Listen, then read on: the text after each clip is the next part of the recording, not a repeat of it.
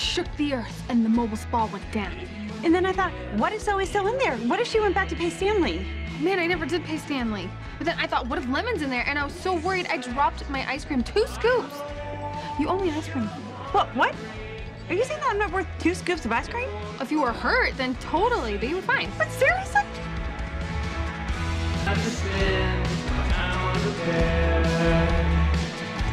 Here's the thing. I knew Harley, and um, even though my daddy and Harley didn't always get along, I always thought that he was a real nice guy. And so, if you ever want to talk about him, I'd be be happy to. Thank you. That's really sweet. Don't get carried away.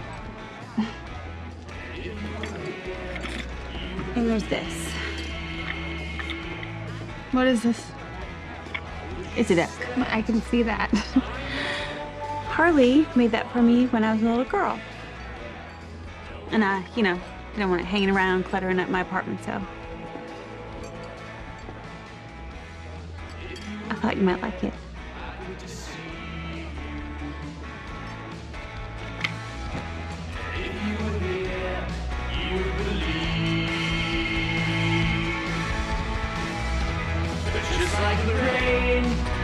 I'll